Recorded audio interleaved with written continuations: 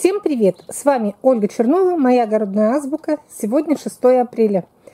Я сейчас сниму подробное со всеми деталями видео о уплотненной схеме посадки томатов в теплицу. И сразу все, перед тем, как начать рассказ, все вводные данные еще раз повторю. Может быть, кто-то предыдущее видео не видел. Такая ранняя высадка. Вот сейчас начало апреля. Я высадила в конце марта, начала высаживать. Живу в сибирском регионе.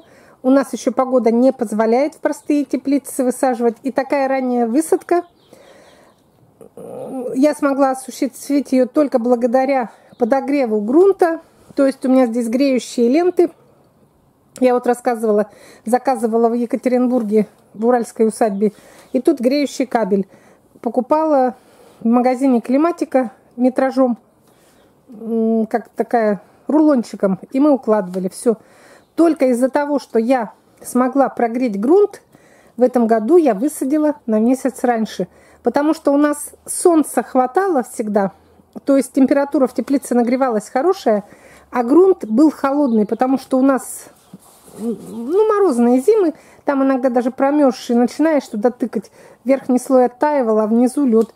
Вот из-за того, что грунт, подогрев грунта здесь установили, и еще грядки высокие, и подогрев грунта мне обошелся очень дешево, потому что я только прогрела его вначале, а потом выключила, и эту, и эту. Буквально этот три дня грела, эти, этот сутки, полторы сутки греющие ленты нагрели, и потом я больше ни разу не включала, потому что грядки высокие, и он уже не остывает, не охлаждается. Я его контролирую, 16 градусов постоянно. Еще солнышко прогревает, все у нас хорошо. Вот перейдем к уплотненной схеме посадки томатов.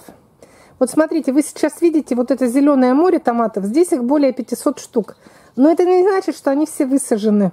Кто смотрел предыдущие видеоролики, тот знает, что я высадила всего лишь тут два ряда и тут два ряда. Остальные все пространства я заняла стаканчиками с рассадой томатов, которая ждет очереди для высадки в следующую теплицу, где подогрев только вот инфракрасные обогреватели. Забыла добавить, что вот здесь у меня двойной подогрев. Подогрев грунта и вот инфракрасные обогреватели греют сверху. Это вот на случай морозных ночей можно всегда вверх включить, и тут как будет тепло. Вот смотрите, тут 4 ряда. Я сейчас, я сейчас, сидя на стуле, все это рассказываю, чтобы просто общий обзор. Я сейчас встану и каждый высаженный сорт томата покажу отдельно, потому что они здесь среди общей массы. Вы их так не увидите при общем обзоре. Я сейчас буду каждый показывать, называть сорт и скажу, общее количество, какое всего здесь. Потому что некоторые, вот даже приходят сообщения, некоторые думают, когда я показываю такой обзор, некоторые думают, что уплотненная посадка, это значит вот все вот эти вот томаты у меня высажены. Нет, высажено очень мало здесь. Во всей теплице на обеих грядках высажено 150 штук. С этой стороны количество больше, потому что тут крайний ряд высаженные низкорослые штамбовые, вот эти толстоногие, их больше. На той грядке их меньше. Вот смотрите, первый ряд, я сейчас по одному буду показывать, но сразу скажу, что в первом ряду у меня все, все, все низкорослые. Вот я называла Спиридон, Москвич, Ренет, Буян, там, Кемеровец. Они все низкорослые, почти все штамбовые. Именно те, которые позволяют себя выращивать загущенно. И когда у меня спрашивают, не часто ли вот от лунки до лунки, то вот эти 30 сантиметров, которые между ними, это как раз то, что нам указывает производитель. Он нам указывает, что на одном квадратном метре таких томатов можно высадить 5-6 штук. И если посчитать площадь, то тут как раз выходит на метре у меня как раз 4-5 растений. Ну, начну сейчас с самого первого. Спиридон. Второй москвич. Третий. Я вам уже его показывала. Ринет.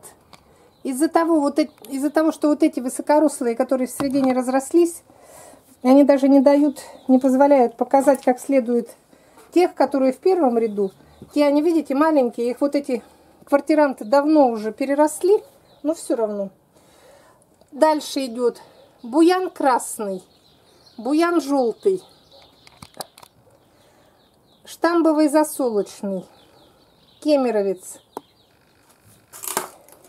Ой, градусник раздавила. Ранний 83. Ультраскороспелый. Вот этот сибирский скороспелый. Потом идут Демидов, Демидов, янтарный, новинка, первый раз посадила. Ой, как его показать-то вам вот. Ну, заслоняют квартиранты. Потом малиновая ляна. Вот эти богатыри. Это чудо лентяя, вот одна лунка. И чудо лентяя вторая лунка. Потом идет челнок. И крошечный Дон Жуан. Потом идет золотое руно. Еще раз золотое руно. Яблонька России. Клуша и огромная бетта. Вот всего, всего в первом ряду 23 лунки. Лунки спаренные, по два растения в одной лунке. То есть 46 томатиков в крайнем ряду. И это самый густонаселенный ряд. Тут они выстроены, ну как в одну линию, и между лунками 30 сантиметров. Совсем другая ситуация вот в этой же грядке, но вторая лунка. Тут они уже выстроены через 40 сантиметров.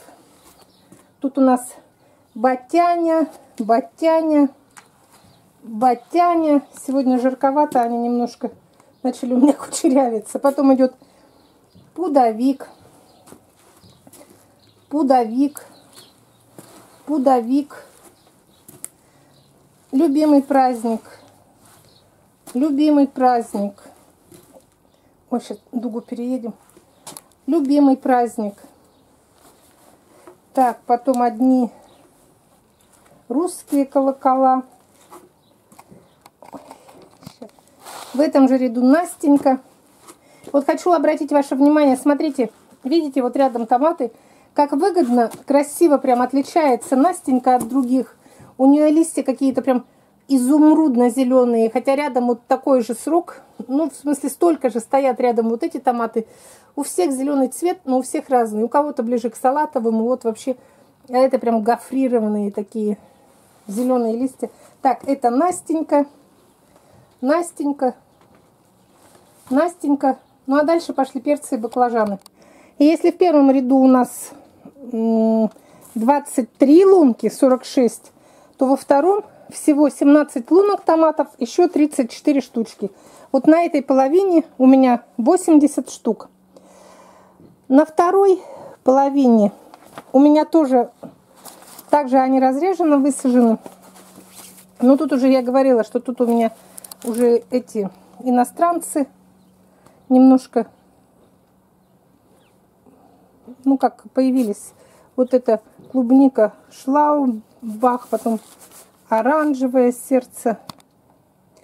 Тут дуги мешают, приходится съемку это немножко выключать.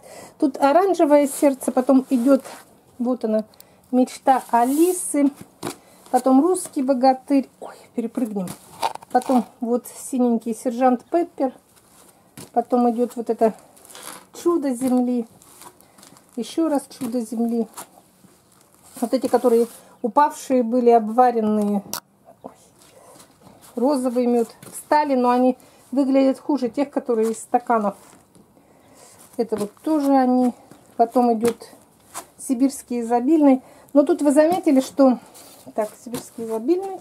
Потом у меня идет, сейчас скажу, тут Delicious тяжеловес Сибири две штуки и один вот здесь розовый сибирский тигр и король Лондон. Вы, наверное, заметили, что на этой половине томаты, они немножко как бы поменьше, потому что те я высадила раньше, они уже успели вырасти и окрепнуть. Ну и на ту сторону я не буду сильно углубляться, к стене пролазить, только скажу, что там у меня Вова Путин, потом Вирджиния Сладости, Кристина Ватчер, Дефрау, Микада Розовый, Микада Черный, странная вещь девушки, Этуаль Брикадель, потом Полосатый Раджа, Манго, Вифлеемский огонь и банан оранжевый. Всего в двух рядах, я сейчас скажу вам, это как я считала, 80 и, и 70. 80, 150 штук. Вот 150 томатов. Сразу скажу про это количество 150. Я уже в, при, в прошлые годы говорила об этом, что такая уплотненная посадка, конечно, достигается за счет того, что они по два томата в одну лунку, но опять же, так плотно высаживать может только тот, у кого будет потом время в течение всего лета очень-очень тщательно следить за ними.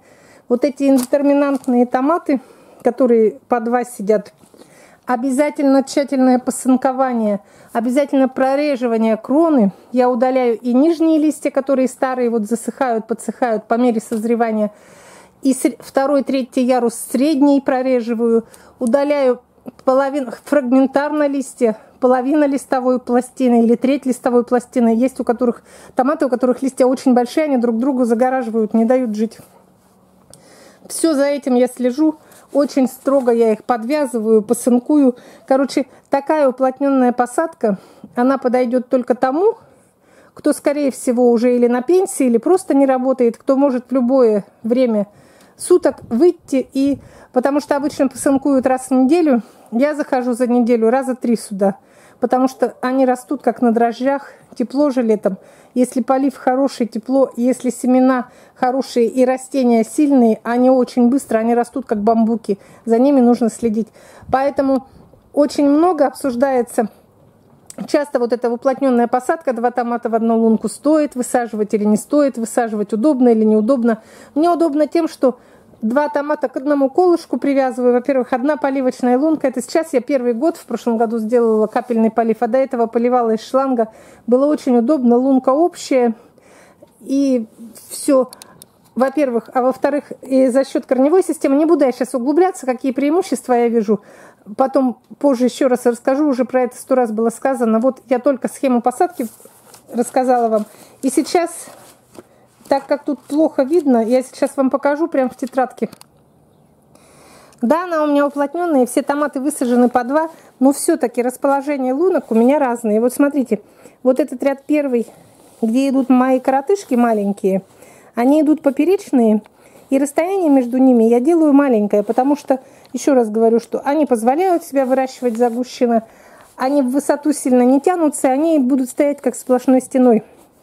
Но второй ряд на этой же грядке, хотя он тоже поперечно сделан, но расстояние между ними уже больше.